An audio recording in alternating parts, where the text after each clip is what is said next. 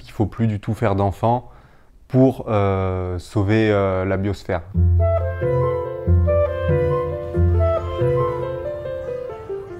Je m'appelle Alex, j'ai 24 ans et je suis étudiant à Lyon pour devenir euh, travailleur social. VEMT, ça veut dire Voluntary Human Extinction Movement, donc le mouvement pour l'extinction volontaire de l'humanité.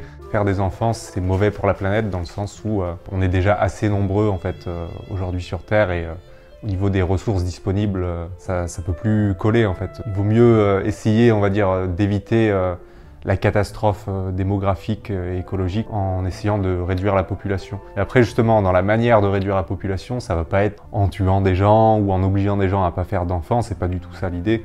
L'idée, c'est vraiment le côté volontaire, la volonté d'avoir moins d'enfants, enfin d'avoir moins d'enfants ou pas du tout, le mieux étant pas du tout le VEM, c'est qu'on vit dans une société où, de consommation de masse. Un enfant qui vit dans cette société va aussi suivre, ça et va consommer euh, énormément.